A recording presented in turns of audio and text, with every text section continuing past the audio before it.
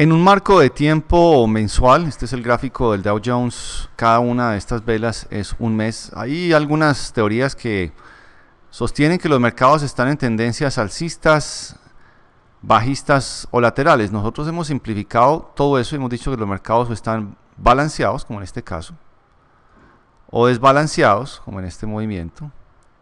Aquí en un eh, estado de balance, nuevamente, por acá.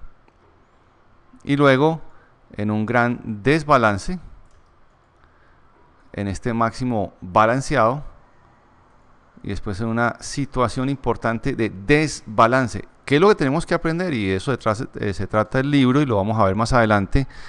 Es cómo eh, aprovechar esos movimientos verticales de desbalance para hacer dinero en los mercados.